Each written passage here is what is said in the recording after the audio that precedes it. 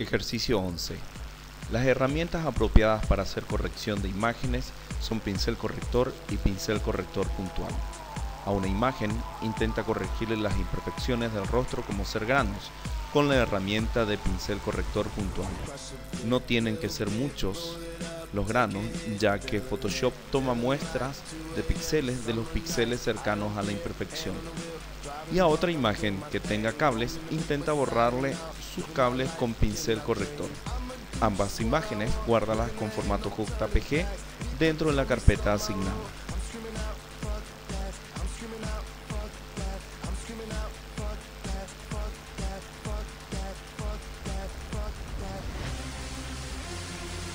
Nos acercamos un poco con la lupa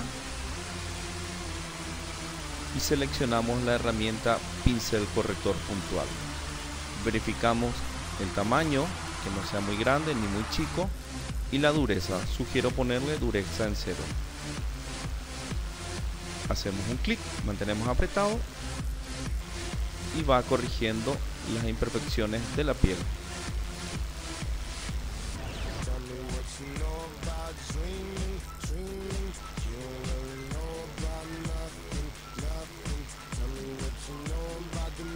Manteniendo la barra espaciadora apretada, nos desplazamos por la imagen.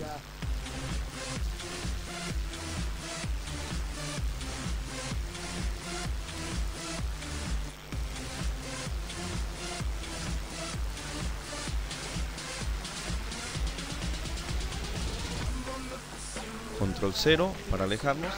Una vez que creemos que el trabajo ya está concluido, lo guardamos. Archivo, guardar como.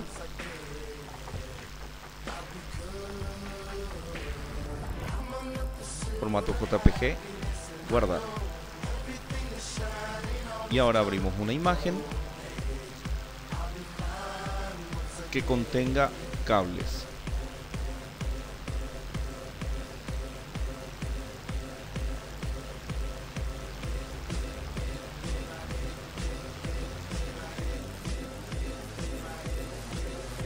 nos acercamos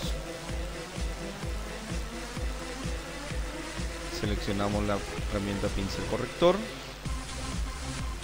Achicamos. Y todo haciendo un clic on alt pasamos sobre la zona.